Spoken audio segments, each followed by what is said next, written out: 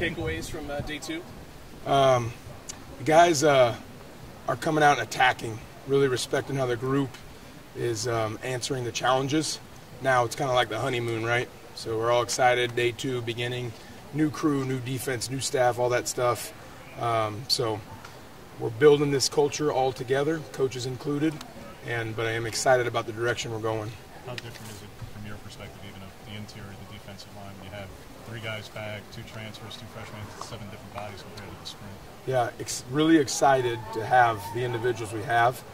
Um, to be honest, and it's, and it's always like this at this level of play, it's difficult to assess those guys with no pads on, you know, so sometimes guys look uh, a lot better like an underwear Olympics, and we'll find out probably a lot more building starting tomorrow when we get into um, some, we're going to have some pads on, I believe, so start finding out up front what we're really um, made of. Jim was really crediting Brandon quite a bit by way of doing this thing, of just what he's done this offseason. What, what have you seen from him heading into the season? Yeah, he's uh, he's worked for it, and um, I think he's um, he's got definitely um, tunnel vision focus on what he wants to do this season.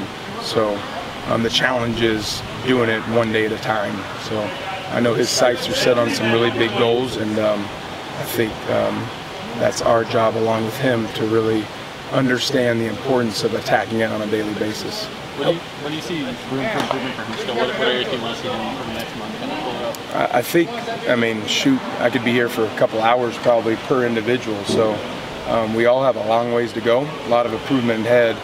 Um, but there's some things, you know, he offers us some versatility. So he's someone that um, we can tax um, if he can handle it mentally, you know, in some multiple spots on our defense because of that versatility.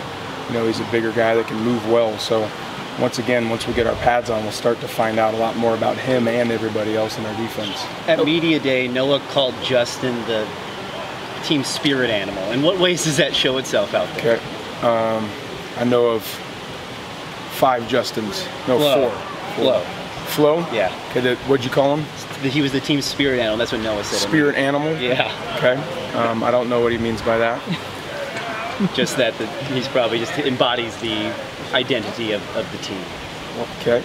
I, I'm not sure. We, we haven't been talking a lot about spirit animals in the defensive meetings, so I, I don't know. In, in what ways does, does kind of Justin kind of showing his personality that he has out there on the field, and also Justin and Noah together, what that what that's like out there having them both there in the middle of your defense? I'm excited to have his presence. You know, he's someone. Um, it's a, thing I love about Justin is we got to constantly tell him to, to um, slow down, and I'd rather do do that than have to demand someone every day to speed up.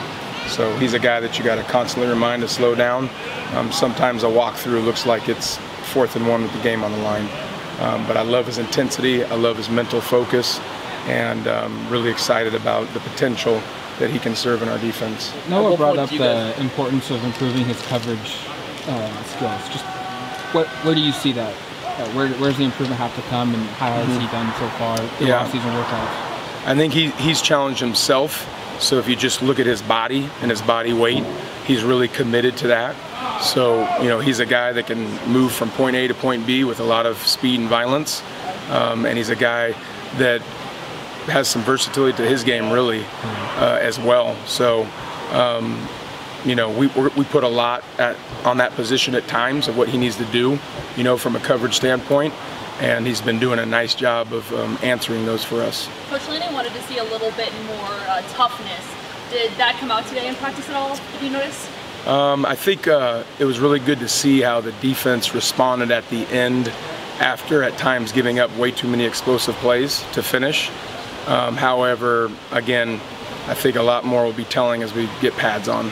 Yeah, you mentioned the honeymoon phase a little bit. So does that end when pads go on in your mind a little bit? Yeah, a little bit. Or, you know, it's still first day of pads, so we'll be really excited, and, uh, you know, so will everybody else in the country that gets that day. Um, and then we'll find out. I think toughness will, will come along with as you do it each day. You know, can we wake up? Can we come to the meetings with the right intensity? Can we have the attention to detail that's required? Um, can we mentally lock in when we need to? And then when we go out in the field, can we execute it with a, some physicality and violence? You guys added three freshmen in the secondary over the summer. Just curious in terms of corner versus safety for each one for Khamari, Trajan, and Tucker. Just where are you lining those guys up first? Yeah, I think uh, it's important in this defense. You know, we, we do a, there's a lot of variety we ask of these guys. You know, we're a multiple defense, all right? So we're not going to typically play a guy at one position. You know, we want to move him around. It, it, it can tax him mentally at times, um, but we want to find out how do we get our best 11 on the field. You know, that that's to me, in my opinion, of what a what a good coach and a good program can do is, you know, utilizing their best 11. So, um, per situation of football, uh, whatever that requires, we're going to do our best to put the best 11 out. What's your philosophy on leading on freshman touch? They realize further away from the ball, generally, the faster they can possibly see the field. But you had the luxury of not having to do that a lot since Marlon and Minkah, and those were first round picks. So what's your philosophy in terms of how soon freshmen really can be thrown to the lines?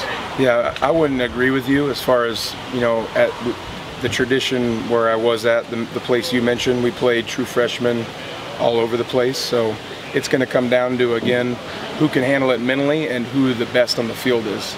So, you know, if there's a if there's a younger guy that can uh, um, offer us an advantage, he's going to play for us.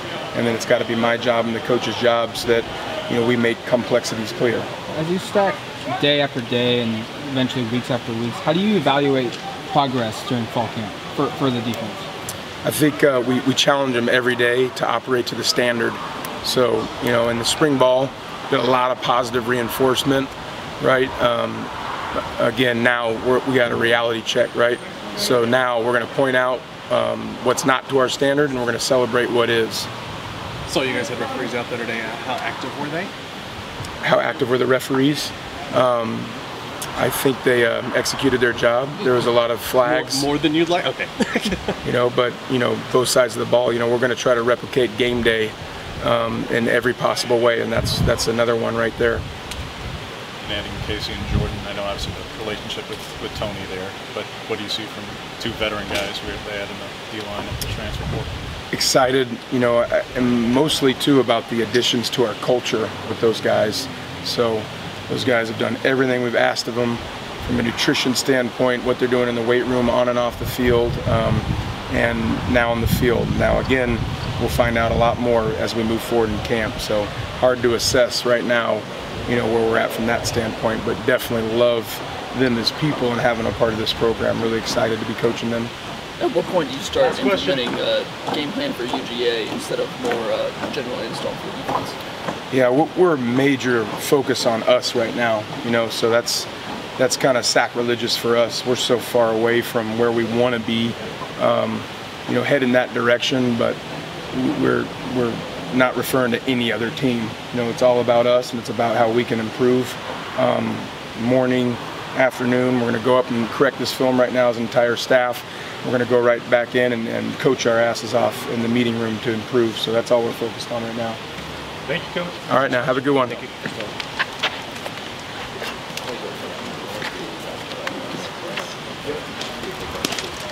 Guys, that's going to be it today. Coach Dillingham had something come up. We're going to try and get him on Monday instead with some offensive guys.